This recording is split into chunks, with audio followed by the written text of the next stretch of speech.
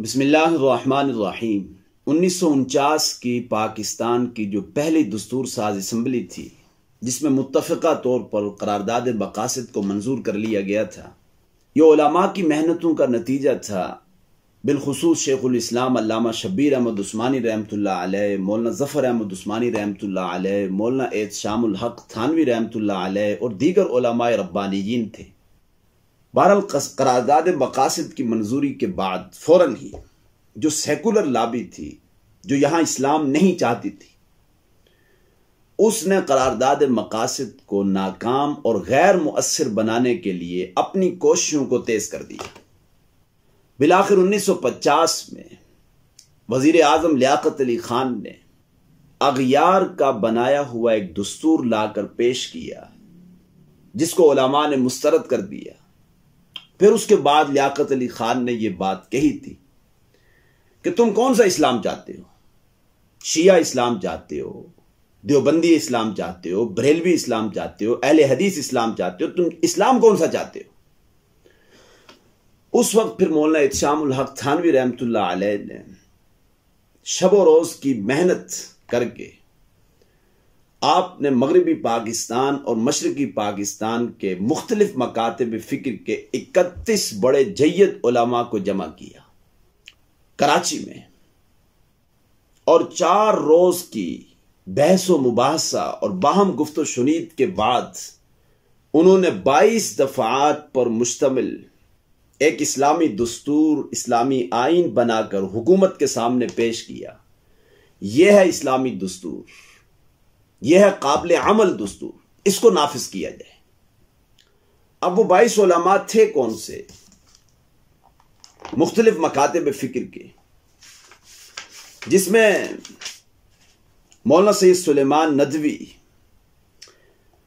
मौलाना शमसुल अफगानी मौलाना एतशामुल थानवी, मुफ्ती मोहम्मद शफी उस्मानी, मौलाना मोहम्मद इदरीस कांदेलवी, मौलाना खैर मोहम्मद जलंधरी मुफ्ती मोहम्मद हसन अमृतसरी और हज़रत बनौरी रहमत इसके अलावा मौलाना मोहम्मद अली जलंधरी, मौलाना दाऊद गजनबी सो जो सदर जमीयत हदीस मगरबी पाकिस्तान के थे।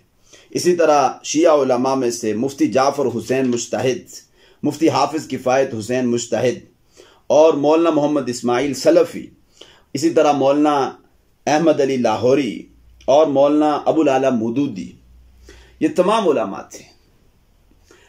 अब जो इन्होंने 22 दफात पर मुश्तमिल, जो इस्लामी दस्तूर पेश किया था, वो 22 दफात क्या थे?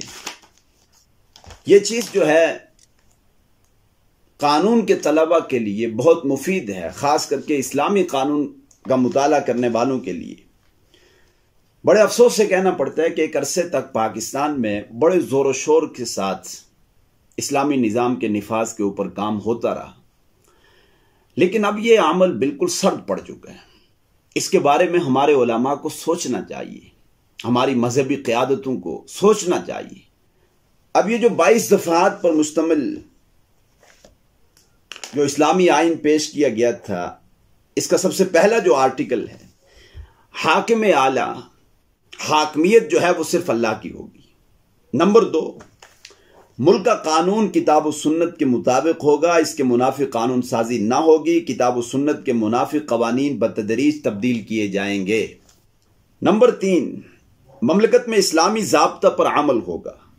नस्ली, लिसानी या सूबाई तसब की गुंजाइश ना होगी। नंबर चार, इस्लामी ममलकत में अमर बिल मारूफ और नहीं अनिल मुनकर का निज़ाम कायम किया जाएगा।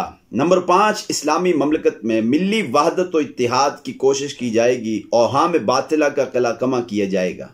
नंबर छः इस्लामी ममलकत बिला इम्तियाज़ मज़हब व मिलत माजूर अफराद की फलाह की जामिन होगी। नंबर सात, शरीयत इस्लामिया के मुताबिक तमाम बाशिंदों को हकूक फ़रज़ हासिल होंगे।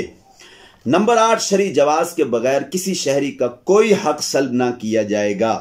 नंबर नौ मुसलमा इस्लामी फ़िरक़ों को कानूनी हदूद में रहकर तबलीग का इख्तियार होगा। नंबर दस गैर मुस्लिम बाशिंदों को कानूनी हदूद के अंदर रहकर मजहबी इबादत और तबलीग की इजाज़त होगी। वो अपने रसूम और रिवाज और मज़हब के मुताबिक ज़िंदगी बसर कर सकेंगे। नंबर ग्यारह, गैर मुसलमान बाशिंदगान से किए गए हदूद शरिया के मुताबिक मुआदात की पाबंदी ज़रूरी होगी। नंबर बारह, सरबराह ममलकत लाजिमन मुसलमान होगा। नंबर तेरह, सरबराह रियासत, निज़ाम रियासत का जिम्मेदार होगा। वह अपने इख्तियार में से कोई हिस्सा किसी फर्द या जमात को तफवीज़ कर सकता है। नंबर चौदह, सरबराह ममलकत शुराई निज़ाम का पाबंद होगा और अरकान हुकूमत के मशवरे से फ़राइज सर अंजाम देगा। नंबर पंद्रह, सरबराह ममलिकत अगर ज़रूरी समझे तो दस्तूर को जुजवन या कुल्लन मुअत्तल करके शुरा के बगैर हुकूमत कर सकता है। नंबर सोलह, जो शुरा या अरकान की जमात सरबराह ममलकत को मुंतखब करेगी, वो उसे मुअत्तल या माजूल कर सकेगा। नंबर सत्रह, सरबराह ममलकत को वही शहरी हकूक हासिल होंगे जो आम शहरी को हासिल होते हैं। नंबर अट्ठारह अरकान उम्माल हुकूमत और आम शहरियों के लिए। एक ही कानून और जबता होगा। और सब बिला इम्तियाज़ कानून के सामने जवाबदेह होंगे। नंबर 19 अदलिया इंतजामिया से इलादा होगी। नंबर 20 इस्लामी उसूलों की असास के खिलाफ नजरियात की तबलीग ममनू होगी। नंबर 21 मुल्क के मुख्तलिफ़ अजला इंतजामी हिस्से मुतसवर होंगे। इनकी हैसियत नस्ली, लिसानी या कबायली ना होगी। ये इंतजामी लिहाज से अलग होंगे। मगर मरकज से वाबस्ता रहेंगे, इन्हें किसी सूरत भी मरकज से अलहदगी की इजाज़त ना होगी। नंबर बाईस, दस्तूर की कोई ऐसी ताबीर मोतबर ना होगी जो किताब व सुन्नत के खिलाफ हो। यह हैं वो बाईस दफ़ात जो तमाम मकातब फ़िक्र के उलमा ने मुतफ़ा तौर पर पेश किए थे। तो आज इन तमाम मकातब फ़िक्र के उलमा को चाहिए कि मुनज़म बुनियादों पर यहाँ इस्लामी निज़ाम के नफाज की जद्दोजहद करें। नहीं तो आप पूरी पाकिस्तानी कौम के सामने मुजरिम हैं और अल्लाह के सामने भी मुजरिम हैं। आप बच नहीं सकते। आप किसी गलत फहमी का शिकार है। अल्लाह हमें इस पर अमल करने की तोफीक नसीब